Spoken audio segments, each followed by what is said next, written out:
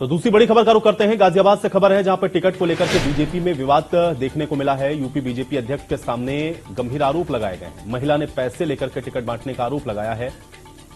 तो निकाय चुनाव को लेकर के जो टिकटार्थी हैं या जो टिकट के वितरण हुए हैं, उसको लेकर के लगातार आप देख रहे हैं कि विवाद की स्थिति बनी हुई है। अब एक महिला ने पैसे लेकर के टिकट बांटने के आरोप खुद बीजेपी प्रदेश अध्यक्ष के सामने लगा दिए। टिकट लेकर के बीजेपी में पैसा दिया जा रहा है, ये बेहद गंभीर आरोप महिला ने लगाए। बीजेपी अध्यक्ष के ही सामने देखिए महिला किस तरीके से इन आरोपों को लगाती हुई नज़र आई। पैसे लेकर के टिकट बांटे जा रहे हैं, एक महिला ने ये आरोप यूपी, बीजेपी प्रदेश अध्यक्ष के सामने लगाए हैं।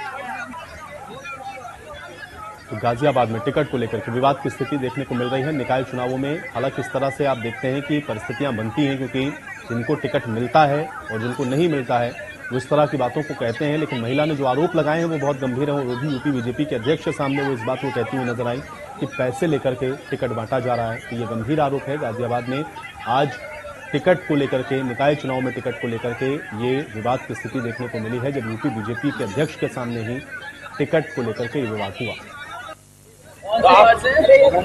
से क्षेत्रीय पदाधिकारी पत्नी को टिकट दिया गया। है कौन देगा इसका जवाब क्या हुआ मैडम? प्रदेश अध्यक्ष से बात रखी आपने? आपने प्रदेश अध्यक्ष से बात की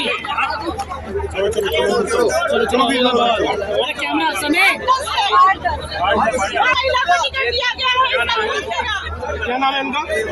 जो ओबीसी महिला है मान सिंह गोस्वामी की पत्नी को दिया गया है मान गोस्वामी जो कभी कार्यकर्ता नहीं है यहाँ झूठ झूठ दे झूठ कार्यकर्ता लोगों को बोल रहे आप हैं प्रदेश अध्यक्ष जी आए हुए हैं क्या क्या कहना चाहते हैं उनसे? यही कहना चाहते हैं अपनी आवाज़ उठाना चाहते हैं उससे आप कार्यकर्ता है बीजेपी बीजेपी में बहुत बीस साल से कार्यकर्ता है आप आके देखो वार्ड में क्या नाम है आपका? क्या नाम है?